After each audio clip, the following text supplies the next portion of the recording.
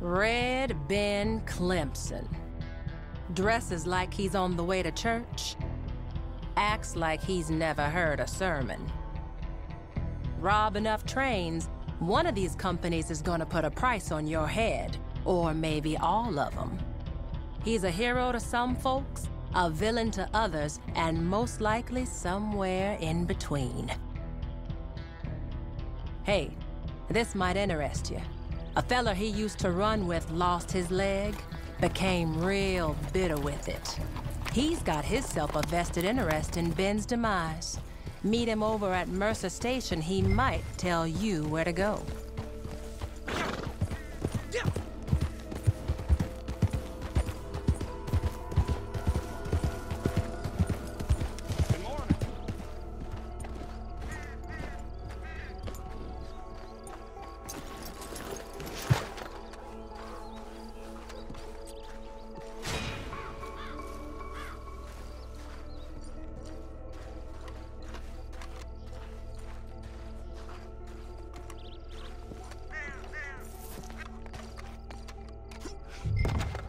Hey, you looking for Red Ben?